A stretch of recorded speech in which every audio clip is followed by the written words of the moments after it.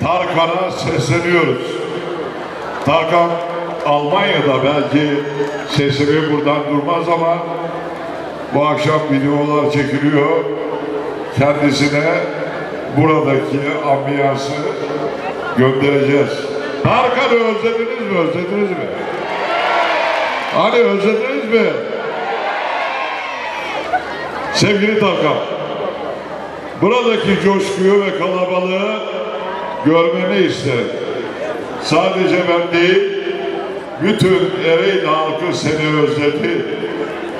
Bizlerin ve Ereğli halkının kalbinde çok özel bir yere sahipsin. Bunu her konserinde göklere yükselen coşkunun sesinden en iyi sen biliyorsun. 2004'te Karadeniz Ereğli'ye festivalimize geldi. 2006'da geldi. 2009'da geldi.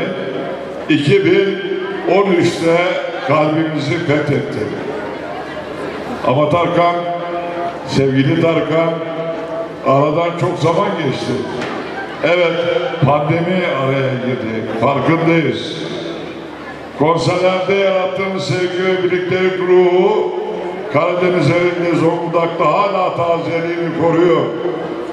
Konser fotoğrafların duvarlarımızı süslüyor. Dev konserlerin herkesi bir araya getiriyor.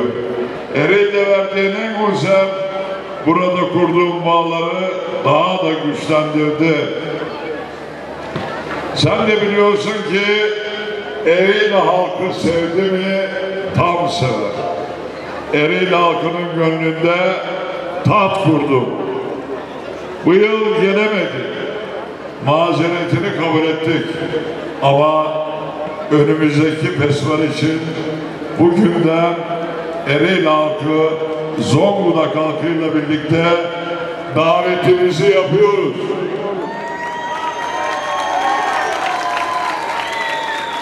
O nedenle tüm Ereğli ile beraber sesleniyoruz.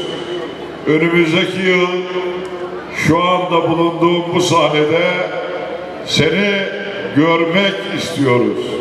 İstiyor muyuz? İstiyor muyuz? İstiyor muyuz? Ereğli halkı seni özledi. Artık buluşalım sevgili Tarkan. Seni önümüzdeki sene bu sahnede mutlaka görmek istiyoruz. Özlediğimizi ispat etmek için bakın arkadaşlar Türkçe ve yabancı dilde pankartlar hazırlamışlar. Evet ben de onlara soruyorum. Ne diyorsunuz? Tarkan'ı istiyor muyuz?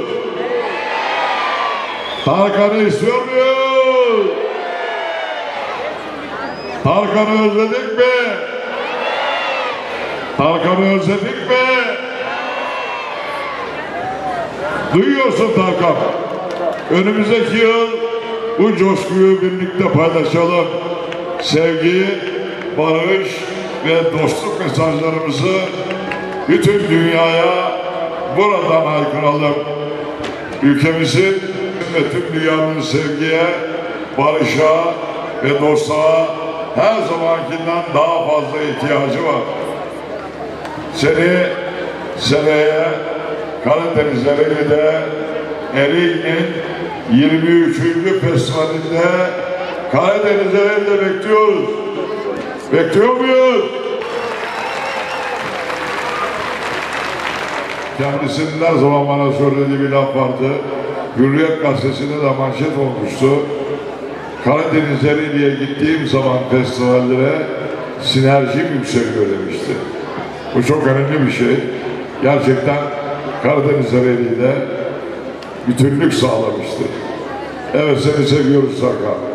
Ereğli halk adına belediye başkanı olarak sana sesleniyorum. Önümüzdeki sene seni bekliyoruz.